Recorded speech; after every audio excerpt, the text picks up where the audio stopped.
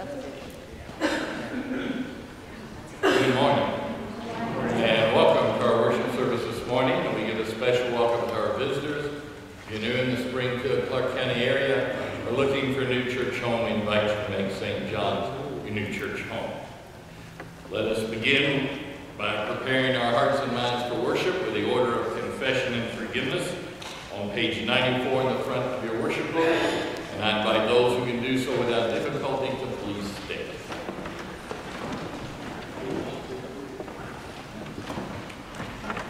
In the name of the Father, and of the Son, and of the Holy Spirit. Amen. Almighty God, to whom our hearts are open, all desires known, and from whom no secrets are hidden. Cleanse the thoughts of our hearts by the inspiration of your Holy Spirit, that we may perfectly love you and worthily magnify your holy name through Jesus Christ our Lord. Amen. Let us confess our sin in the presence of God and of one another.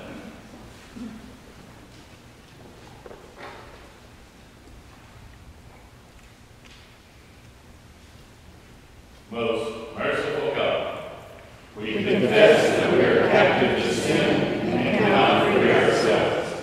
We have sinned against you in thought, word, and deed, by what we have done and by what we have undone. We have not loved with our whole heart. We have not loved our neighbors as ourselves. For the sake of your Son, Jesus Christ, have mercy on us. Forgive us, renew us, and lead us, so that we may delight in your will and walk in your ways, to the glory of your holy name. Amen. God, who is rich in mercy, loved us even when we were dead in sin and made us alive together with Christ. By grace you have been saved. In the name of Jesus Christ, your sins are forgiven. Almighty God, strengthen you with power through the Holy Spirit, that Christ may live in your hearts through faith. Amen. Amen. Let us now begin our worship with the Word of God incarnate, hymn number 514, in the front of your worship. Hymn number 514. Welcome to St. John's Lutheran Church, Springfield, Ohio. We're happy to have you watching us on YouTube. We'd be uh, happy to have you come and worship in person with us. This opening hymn was written by William Howell. He was an Anglican minister in the 1800s. He wrote over 60 hymns. He was offered uh, uh, to be bishop of an area and have a lot of money, but he turned it down and uh, a high salary and a high paying place. He wanted to work among the poor. And he wrote and he felt great love for the poor. Another one of his hymns is And All the Saints. This is a hymn, William How, Anglican minister, lived in 1800s in England. Great lover of the poor.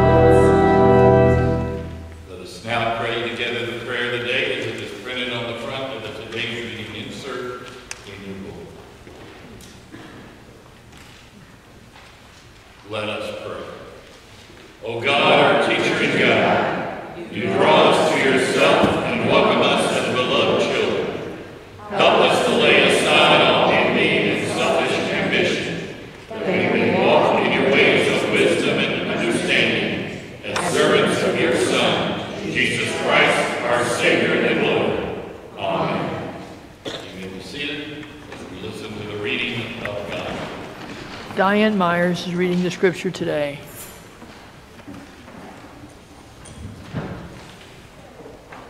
The first reading is from Jeremiah chapter 11. A reading from Jeremiah. It was the Lord who made it known to me, and I knew. Then you showed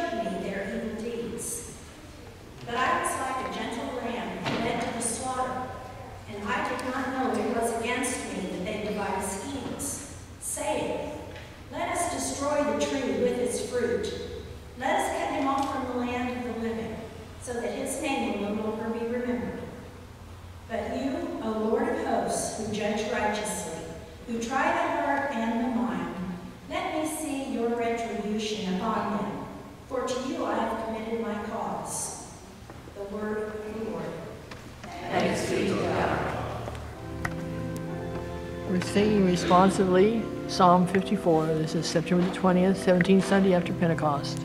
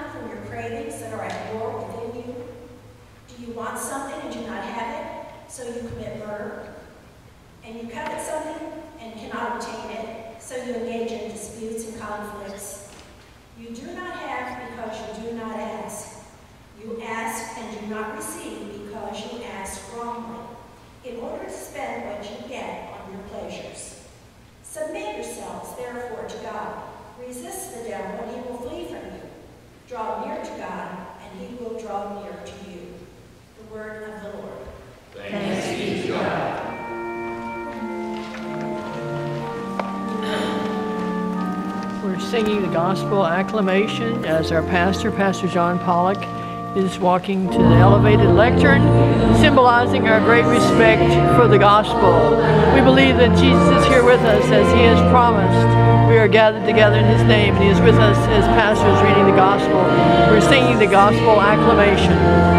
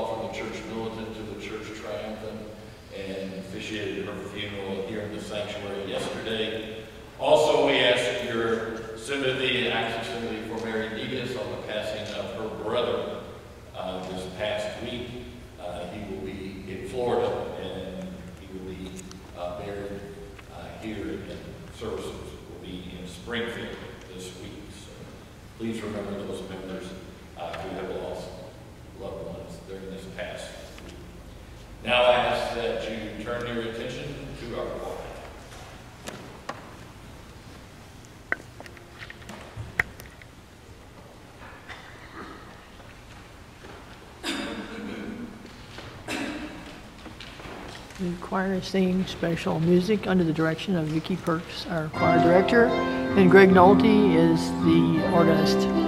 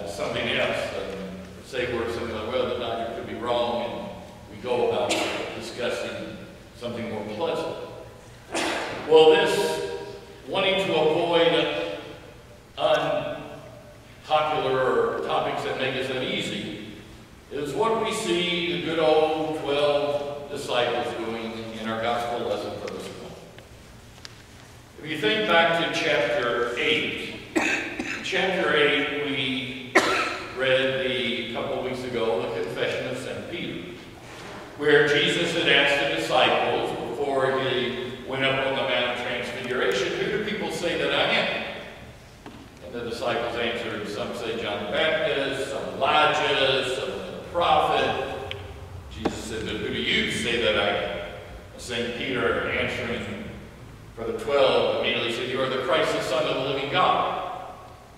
And Jesus commends Peter and says how only the Holy Spirit could enable him to say that. Well, then Jesus started talking about how he must be handed over to evil men, that he must suffer and die, and on the third day rise. And St. Luke tells us, or St. Mark told us how Jesus, uh, Peter then pulled Jesus aside and rebuked him for saying that.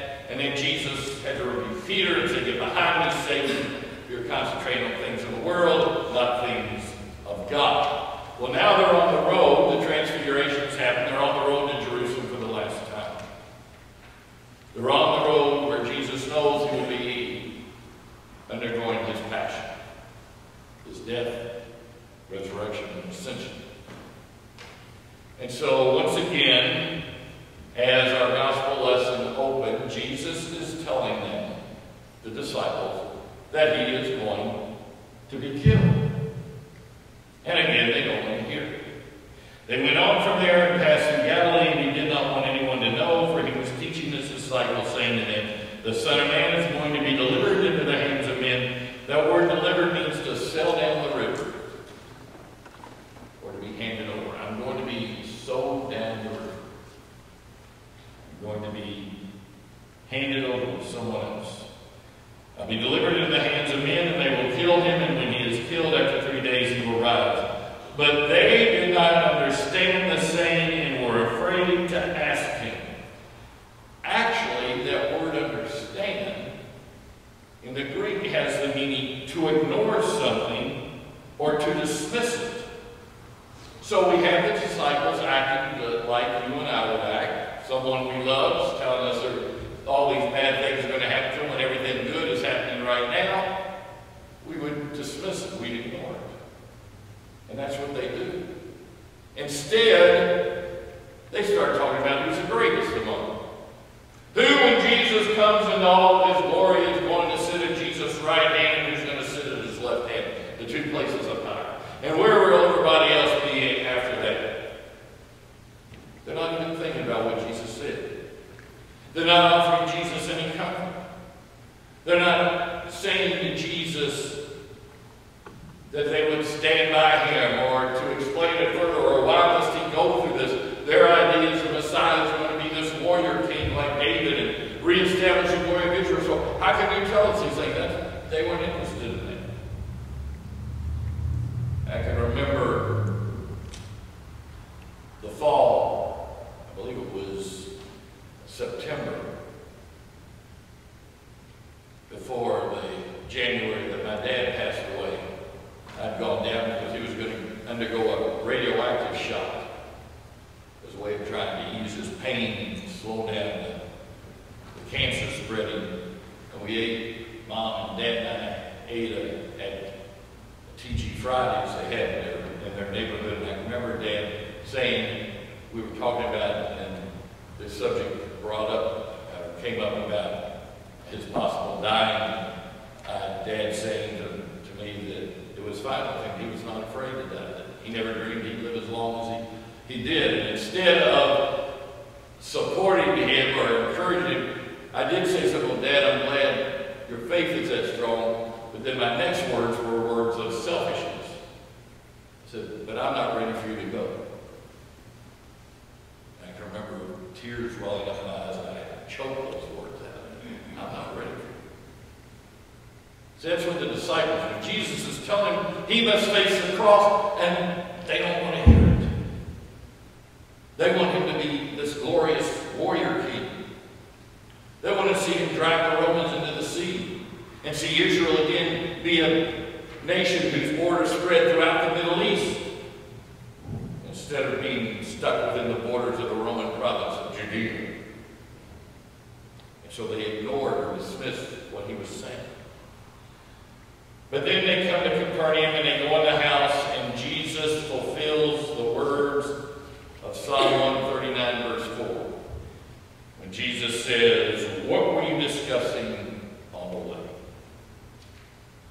Why do I say that fulfills Psalm 139, verse 4? Because that fourth verse of Psalm 139, King David writes, Even before a word is on my tongue, behold, O Lord, you know it altogether. Just think of it. Even before a word is on your tongue, God knows what you're going to say. So Jesus asked them, What were you discussing? Because he knows what they were discussing. And what is interesting, as you notice here, it's the unanswered question. Not one of the disciples had the nerve to tell Jesus what they were discussing, even though Jesus knows it.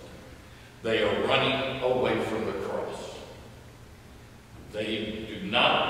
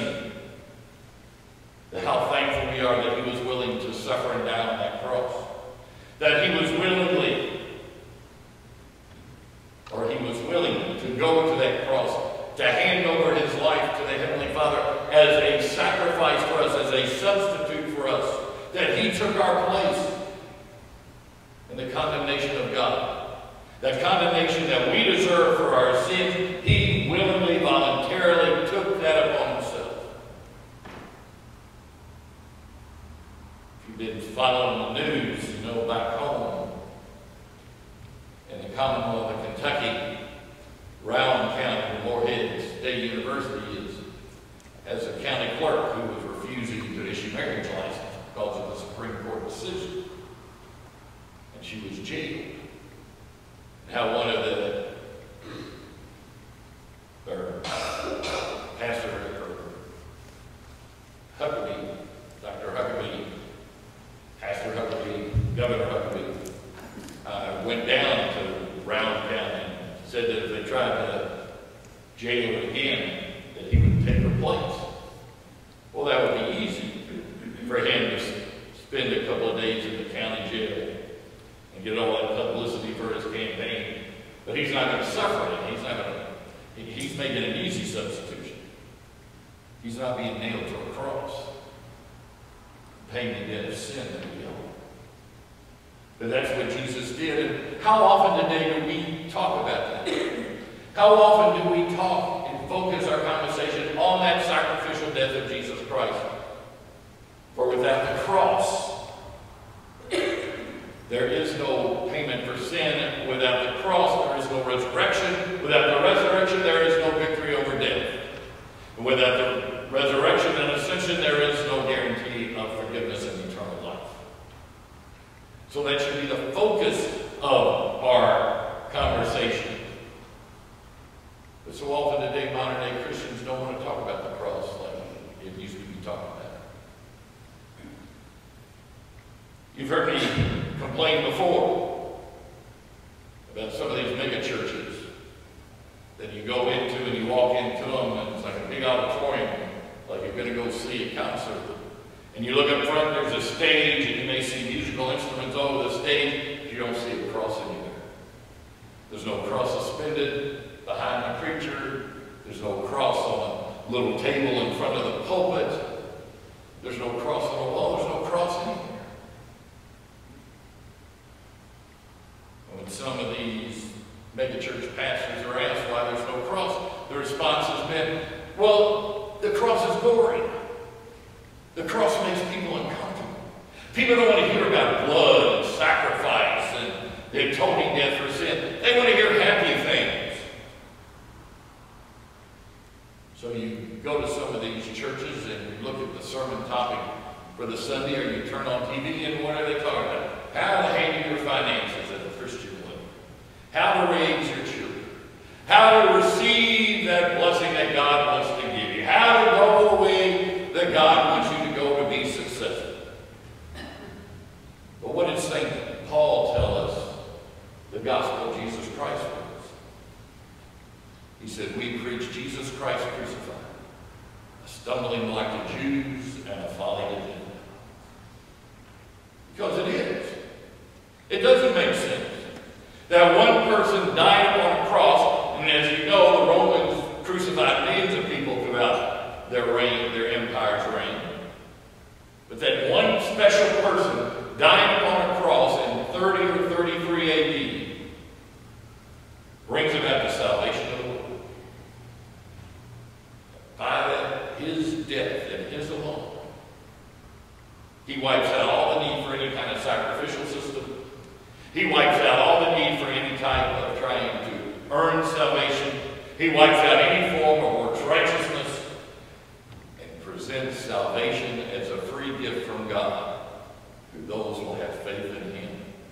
In His death upon that cross. In that bloody,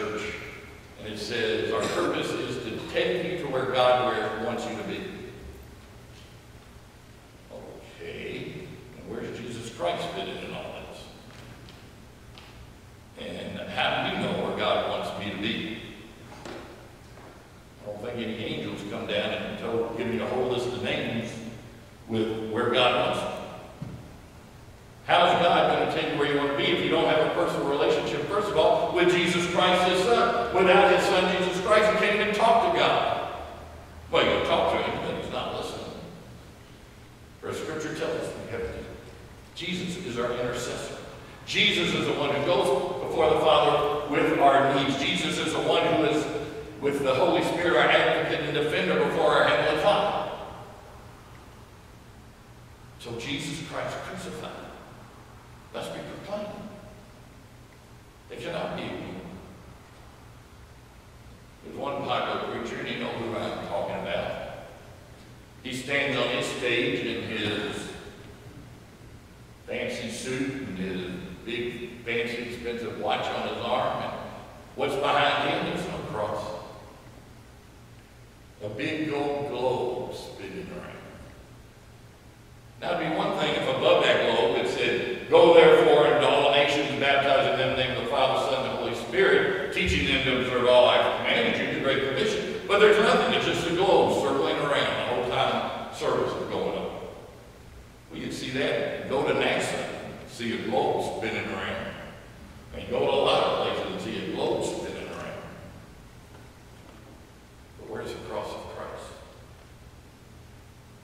See, the unanswered question in our gospel of today, the disciples did not want to confront the cross. They wanted glory, but they didn't want suffering and pain. They wanted seats of prestige. They didn't want Jesus to free them from sin, death, and the power of the devil. So they dismissed, they ignored what Jesus has spoken them about. Second time Jesus has told them this. That's still not sinking in. And they're still discussing it. As followers of Jesus Christ, we are responsible for discussing that cross. To let people know that that cross means your salvation. I remember some years ago there was an article. I'm sure this surprised Jesus. There was an article about how a lot of celebrities were wearing crosses. And that article went on to say it wasn't that they were Christians or committed Christians, it was just it was cool to wear a cross. It was thought it looked cool jewelry. I'm sure Jesus never dreamed when he was dying on that cross that people would take that cross for just to be in jewelry instead of being I am a Christian. I wear a gold crucifix around my neck, not because I think it looks good, but because I can look down at it and reminded of the great sacrifice Jesus made to save a sinner like me. To be reminded of that horrible agony, agonizing, bloody death that Jesus went through, so that like you, I don't have to be afraid of condemnation, but instead know that I'm a child of the Heavenly Father.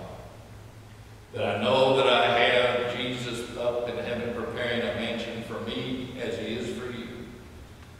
To know that there is nothing, as St. Paul tells us, that can separate, separate us from that love of God. As he tells us in Romans 8, for I am convinced that neither the death, nor life, nor angels, nor principalities, nor powers, nor things present, nor things to come, nor height, depth, anything else in all creation can separate us from the love of God in Christ Jesus our Lord. That's why the cross is important.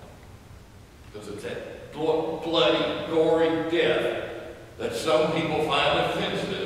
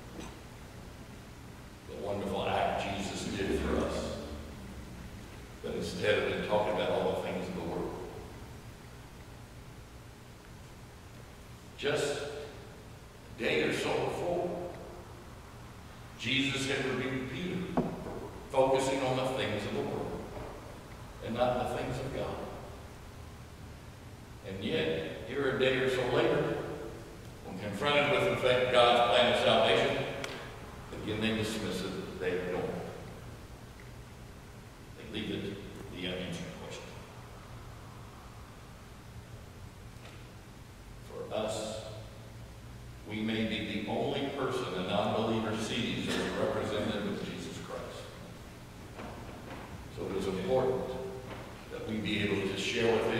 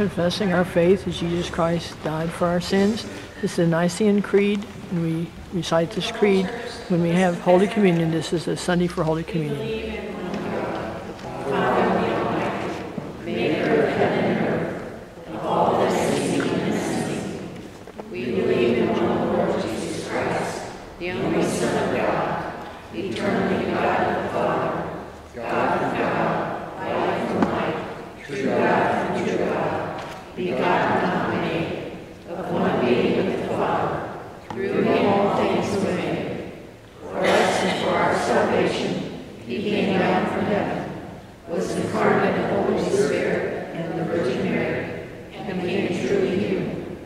For our sake he was crucified under Pontius Pilate. He suffered death and was buried.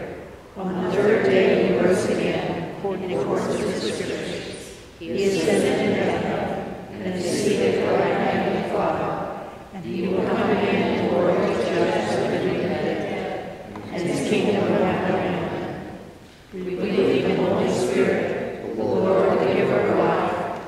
proceeds from the Father and the Son, who with the Father and the Son is worshipped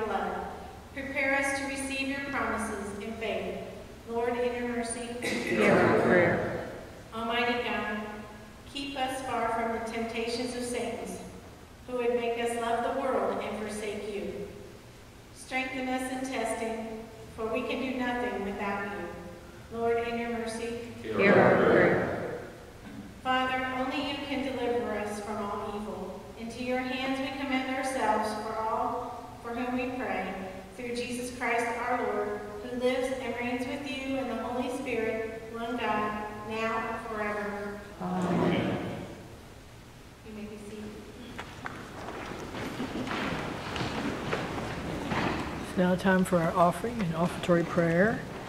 Worship assistant was Becky Dimitrov. You've heard her already.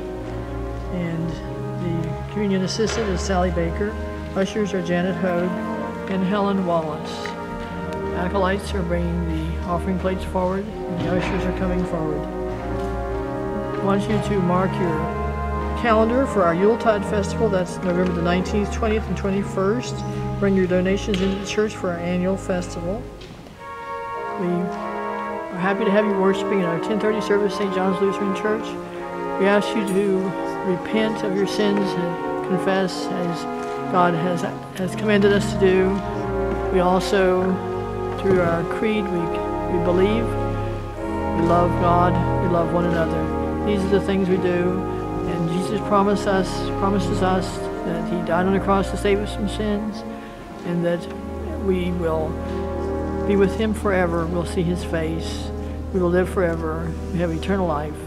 We take his body and blood today, and he promises us that if we do that, he's come here to bring love into the world, and we will be loving and with him through uh, eternity.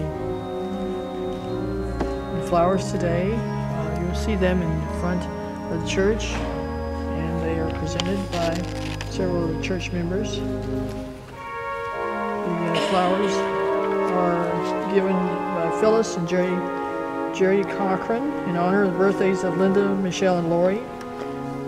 Nelson Klopfenstein in memory of the anniversary of the death of Virginia Sharp on September the 18th. And by Carla Moore in memory of the birthday buddies Herbert Moore and Orville Heinfeld in memory of Carla's birthday and birthday buddies Emily Bothern and Eloise Miller. Those are the flowers that you see, fresh flowers, beautiful flowers in front of our church. You see the beautiful wood carvings. We're here to worship God.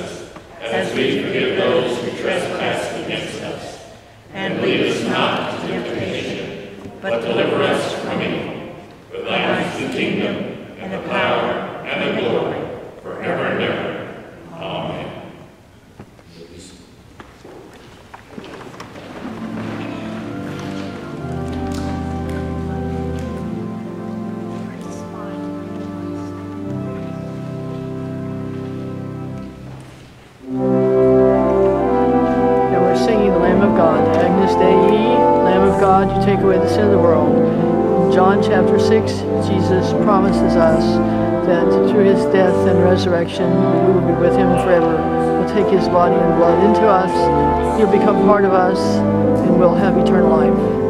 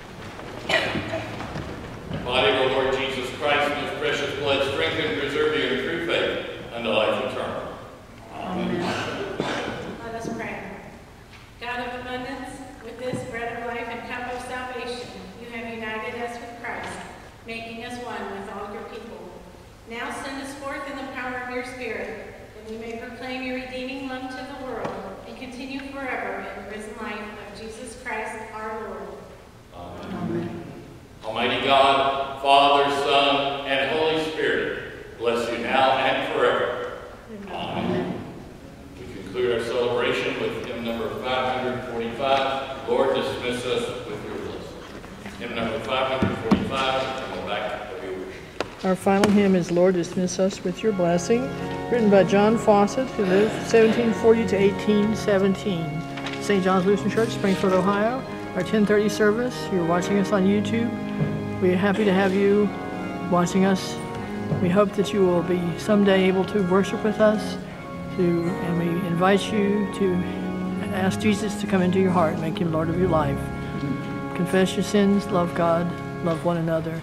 Repent. Go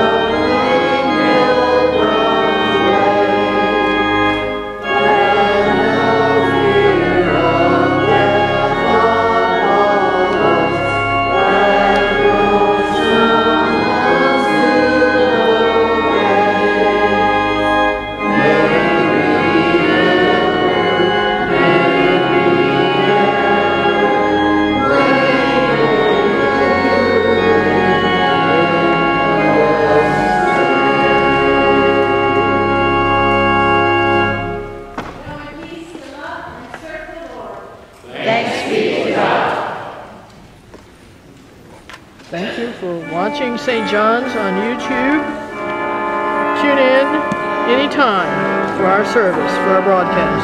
We're happy to bring you this service, and you have gotten this up on YouTube. We invite you to evangelize, to share this with one another. We need to uh, ask others to convert the Christian gospel and stop all this needless suffering and hatred in the world. We can be filled with your love. Our unconditional love from God. We come here, Jesus Christ died on the cross to save us from sin. We take his body and blood and we see his face after death. We have no reason to fear death, as, as Pastor Pollock said. Tune in anytime. Thank you for joining us in our worship this Lord's Day. I hope and I pray that God will continue to bless you and keep you this day and all your days. We'll pray for you. Continue to pray for us. Pray for our YouTube ministry. Pray for the salvation of the world. Pray for the repentance. Pray for love in the world. Jesus Christ came to bring love, to fill us with his love, and to use us to spread his love to others.